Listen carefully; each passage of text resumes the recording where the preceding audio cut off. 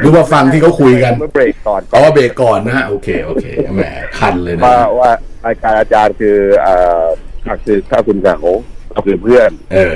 เกาเราถ้ารายการอาจารย์คือเพื่อนก็ขอเกากันแล้วกันนะครับ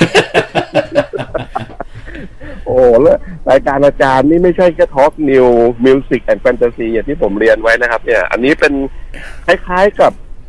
เป็นรายการที่หล่อและเลือกได้ด้วยนะครับอาจารย์พูดเองนะเมื่อกี้ว่าว่า อาจารย์บอกว่ารายการอาจารย์อะถึงแม้ว่าจะแบบว่ามีคนโทรมาสพเปเหระอะไรก็ได้ใช่ไหมครับ แต่ว่า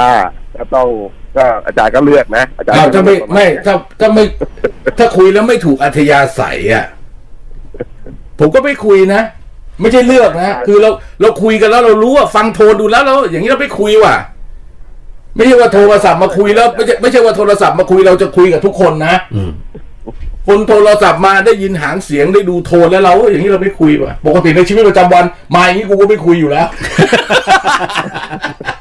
ก็เห็นใจน้องเขาหน่อยอาจารย์ทำไมนะใส่ก็ค่อยๆตะล่อมตะล่อมหน่อย ไม่ก็ต้องดูดิก็ต้องไอ้คนจะโทรศัพท์มาก็ต้องศึกษาระดับหนึ่งใช่ว่าเออมันมีเรื่องจะคุยไหมหรือว่ามันน่าสนใจหรือว่ามันมีอะไรไหมไม่ใช่ว่าเฮ้ยอืมไม่ได้โทรมาจ้อแจ๊ะอย่างเงี้ยใช่ไหม